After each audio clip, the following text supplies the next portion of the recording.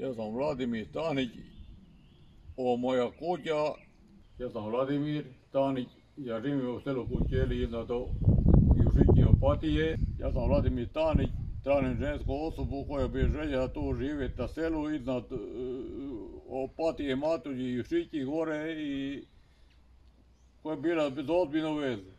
Ovo je moja kuća, i tako tražim da mi neka žena dođe normalna i da se volimo do kraja života.